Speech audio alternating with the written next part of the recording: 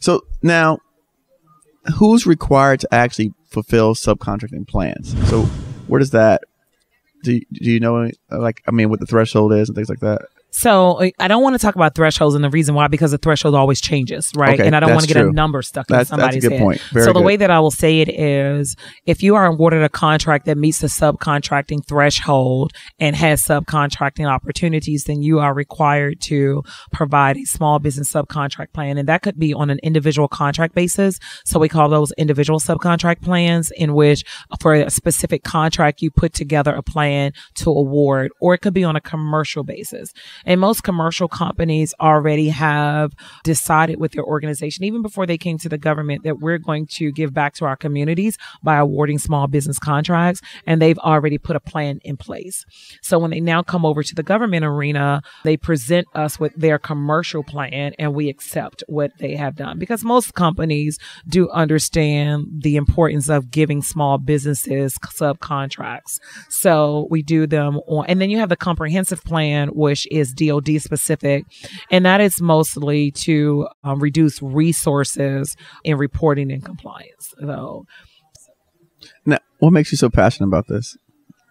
one, I'm a small business owner. Okay. Um, okay. I do. Um, I have two small businesses, and I just believe that small business needs a piece of the pie, right? Right. We have these large business organizations, and small businesses may not be as savvy or have the no, I want to change that. Small businesses are as savvy. They don't have the monetary resources Okay. to Right. go after these large business contracts. Right. And for me, General Dynamics gave me my first subcontract. Oh, Right, really? Right. So, uh, you know, the large businesses understand the value that small businesses bring, and the government understands the value Oh, the that small businesses absolutely. bring. And that's why we have the requirement for it. But I don't want to just stop at the large businesses. Another thing that we do also is with the small businesses who are awarded contracts with utilization of small businesses, we are will be doing compliance reviews on them as well.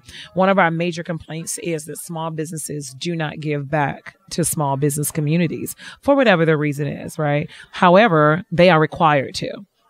Small businesses, when they are awarded contracts, do have utilization of small business clause in their contracts, and that is for them to utilize small business. You also have limitations of subcontracting in their clauses, meaning that they can only give a certain amount of business to a business that is not similarly situated. That means to a business that is not small. Right. Didn't they recently change the rules on similarly situated? Yeah, they did. But it does it everything has a limitation. Right. And we're doing our compliance to make sure that you're not a pass through for a large business. No, and that, and Yeah. that, that Yeah. is really important. Yeah. No, that you know, when you when you do things like that, that's going to help level the playing field Yes. for a lot of us Yes. out here. Yes. And so I think that it, I mean it just makes sense, Right. right? And that, as well as make sure that our small businesses are giving back. They should know how difficult it is to maintain your organization, Oh, yeah. right? So if you have qualified small businesses out there, then you do need to be supporting them because we're supporting you. We gave you that contract as a small business, Yeah, right? certainly. And we're telling you you need to utilize other small businesses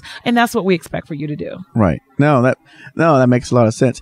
Now, you said 500 this year and 3000 next yeah, year. Yeah. And you said you're on track for the 500? Yeah. We're on track. That's wonderful. It's wonderful. Now, is it possible? And again, I'm, you know, Mhm, I, I have mhm. crazy ideas sometimes.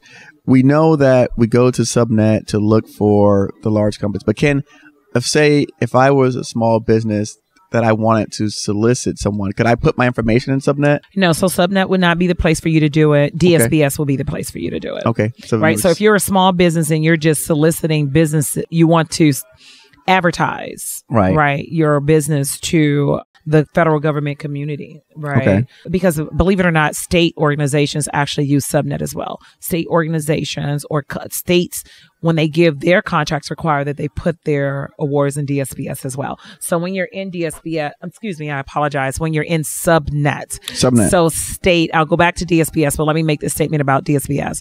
When you're in DSBS, you're not only looking at federal opportunities, you should also be, you're lo- also looking at state because state contracts also require that they put their listing for subcontract opportunities in Subnet. Subnet. as well. Thank Really? you. In Subnet. Yeah. states, so, So, states, require that there are opportunities to be put in yes, subnet. Yes, and I was amazed at that too until I got several calls from contractors who say I have to put this in subnet, um, and I'm having some difficulties with the system when we first launched the new system. And I Now, said, "Oh, this is wonderful." Yes. Now that applies for all state contracts. Well, it's not. There's not a requirement. The states are requiring it on their own. Oh, so the Yeah, states so- are, are putting that requirement, imposing that on on their the- contractors. contractors. Right. Because they see the value in subnet, right? It's like it is the place that Ah. bridges the gap between the small business who's looking for an opportunity and the business who's looking for a small business to give an opportunity.